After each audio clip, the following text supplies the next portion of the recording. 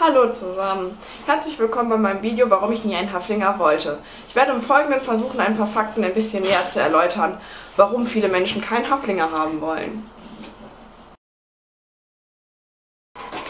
Fakt 1. Haflinger sehen alle gleich aus. Dass Haflinger alle gleich aussehen, dürfte euch ja vielleicht schon mal bekannt geworden sein. Das Problem ist, das kenne ich selber. Ich komme morgens an den Stall und denke mir, scheiße, welches ist dein Tier?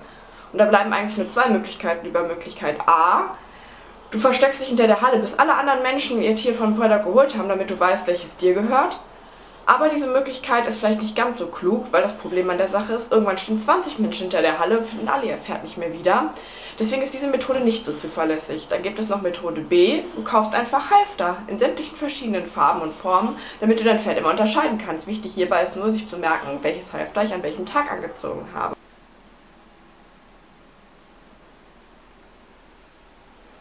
Allerdings ist dies ein sehr kostspieliger Punkt. Hierzu habe ich euch eine kleine Rechnung aufgestellt. Kleinen Augenblick.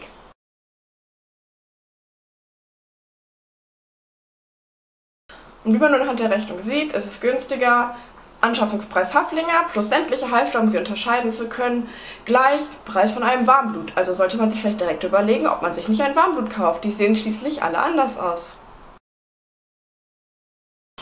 Fakt 2. Haflinger sind faul.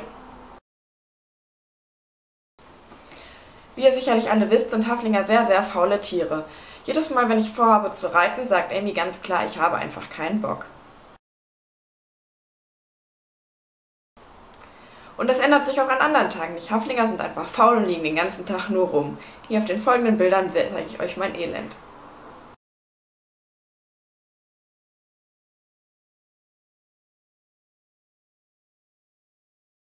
Fakt 3. Haflinger sind alle fett.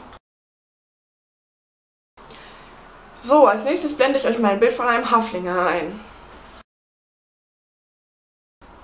Nein, dies ist kein Haflinger. Das ist eine tibetanische Bergziege. Wird oft mit dem Haflinger verwechselt, kann aber aufgrund der Statur überhaupt nicht sein. Und jetzt zeige ich euch das zweite Bild. Auf dem Bild seht, ist das ganz klar ein Haflinger. Gut zu erkennen an den dicken Stampferchen und an dem dicken Bauch.